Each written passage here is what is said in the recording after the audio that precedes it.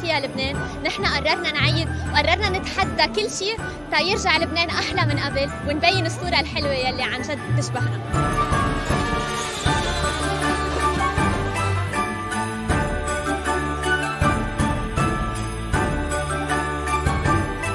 قد ما هيك من جوا من جوا موجوعين. نيجي لهون نلاقي إنه لا آه هالامل يلي نحن كلنا نوعا ما ضيعناه بالطريق بعده موجود.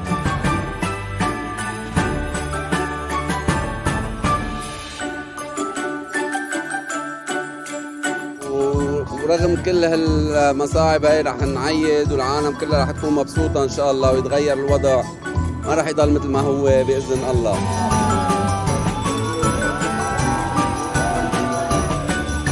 رح نضل ننبسط. ورح نضل نزرع فرح آه الأيام كثير صعبة والأوضاع كثير صعبة. بعرف في ناس هلأ مبسوطة هون بس لما تسرب على بيتها عم ترجع على واقع معين وعلى وجع معين.